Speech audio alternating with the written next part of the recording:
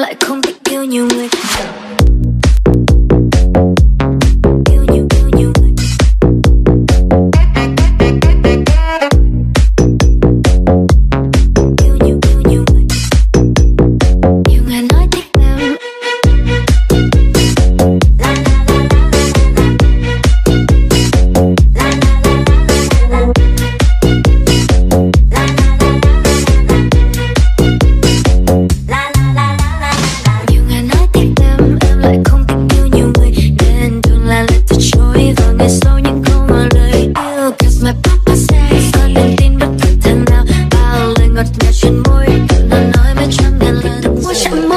jump over.